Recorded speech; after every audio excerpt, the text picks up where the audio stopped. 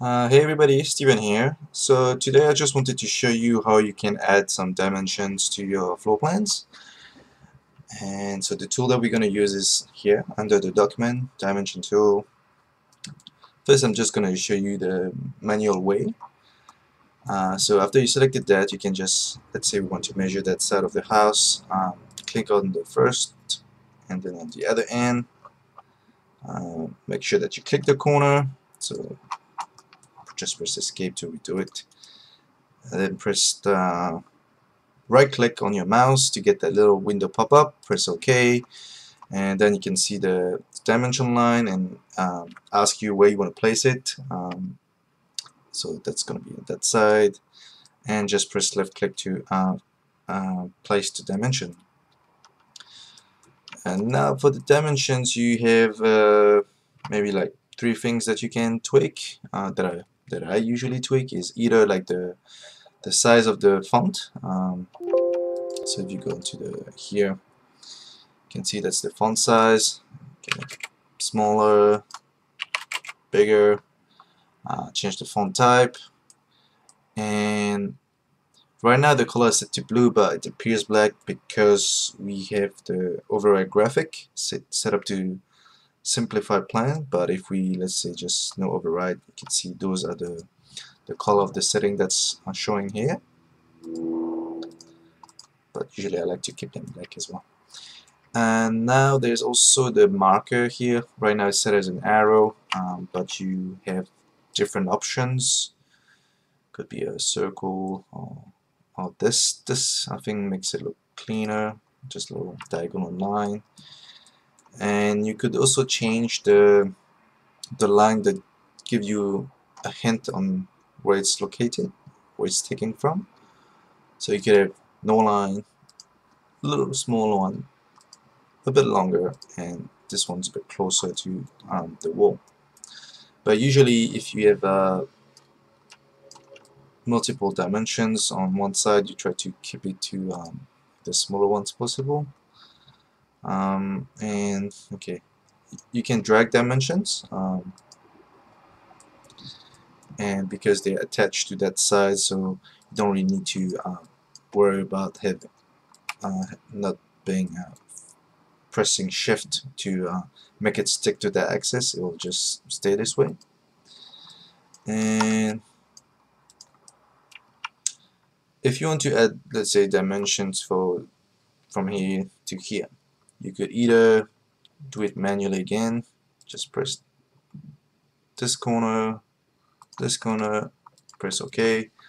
Uh, but as you can see it uh, went back to the original setting. Um, so what you could do is just maybe absorb the settings of that dimension line and put it inside this one. So usually I press alt to get that like um, select the properties of that line. You can see it turns blue.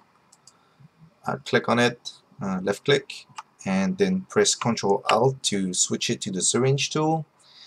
And you just uh, hover that line and press left click to inject the properties. Uh, but if you don't have to do that all the time what you can do is to just make a copy of that dimension line. So you click on it you drag press control to get a, a little plus sign and paste it and just left click to um, make it here and select that line. And if you press control now it allows you to add points to uh, that you want to dimension. So let's say I want to know what's the dimensions from this corner to here. So I'm just gonna select that dimension press control and left click on the corner and I can do that uh, as many times as I wanted to. Um, so I'm just gonna drag to that corner here. And it also works on the on the wall um, so yeah earlier I just created a wall here to show you. So if I click on here click on one of the corner of the wall it will uh, create one. Uh, but if I let's say control Z to undo that. If I click like let's say on the wall itself. Oops. Of course it's not doing now okay um oh, I think you need it only works if you um click on the side that has the reference line.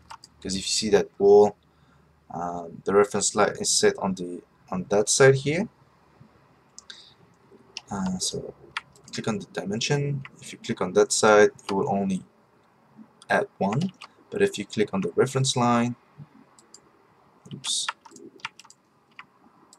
it will add two and it will give you the size of the, the thickness of the wall.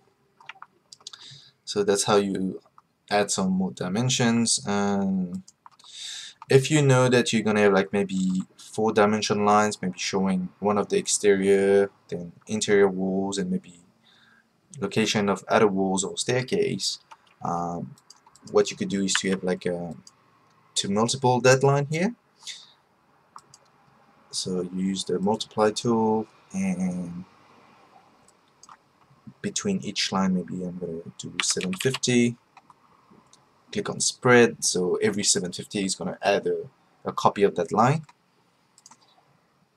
And then click the direction you want to go. So we're gonna go toward the inside and here we go. As you can see the the font is a bit big so what I can do is just select all the dimensions maybe reduce back to 5 looks much better. And now I can just press press one of the dimension press control and just click in any point that I want dimension. Um, here I'm doing the walls. Maybe add this wall here. This one's going to be for this wall this wall this point here and let's see oops. Is it one uh, 22 walls? Should be 250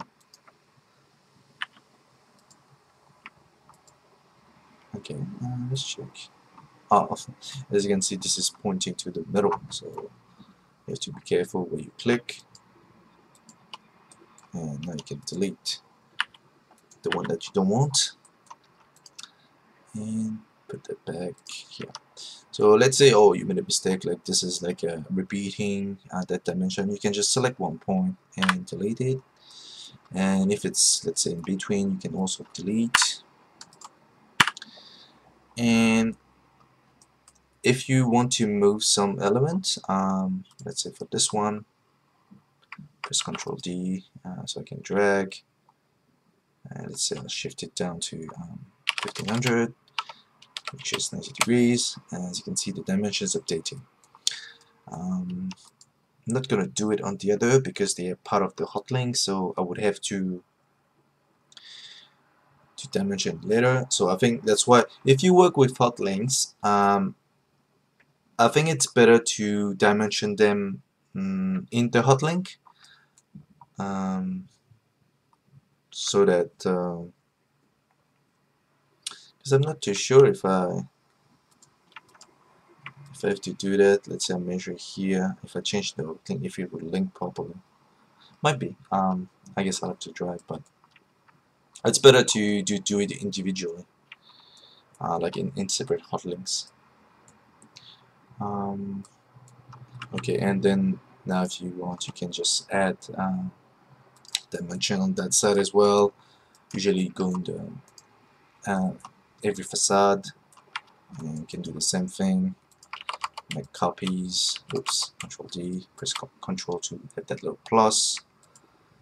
And you can add dimensions. Uh, but it takes quite a while to um, to place everything. So one little shortcut um, just deleting all the dimensions is uh, you can do that automatically. If you select all the walls so just go into the wall tool and uh, control A select all the walls and if um, yeah, uh, so you get all the walls selected go into document uh, annotations automatic dimensions exterior dimensions uh, dimension opening. So openings, um, because right now we haven't really put any any proper windows. Um, so you unclick that but usually if you have windows in your floor plans already uh, it will dimensions the, the hole in the, in the wall but I'm just gonna take that off because um, I just want the, the structure um, press OK and maybe the distance between the lines 750 and let's place them on all four sides press OK so now usually it's better to select one side that's like the biggest and straight. Click on one corner to the corner and now click on the side and that will create uh, dimension lines um, automatically on all four sides. And as you can see there, there's like an order to it. So this one is like the overall dimensions and then those ones are like where there's the corners and this is the thickness of the different walls. And this is just the exterior um, but yeah that's how I add like a dimension really quickly. And from there if I wanted to I could uh, do the interior one. So let's make a copy of this one uh, 2500 or maybe not I'm just gonna use this one because there's there's less uh, dimensions to, to delete. And I can just click on here click this click this click here and I can delete some as well one I don't want. But yeah it just allows me to um, create a lot of uh, dimension quickly have all of them uh, the same font same settings and I can just delete the information that I don't want um, just like this one. If they're like um, same information I can delete that but it's really up to you about how you, you want it to look like. And yeah. Oh if you decide that you, that's not the style of um, dimension that you like you can just click on here just like any other things like if you click on the element and press ctrl A you will select all the same inst same um, uh, instances of that. So will select all the dimensions and here you can change the all of them at the same time. But yep I mean that's my way of uh, adding uh, dimension quickly. Um, well thank you for watching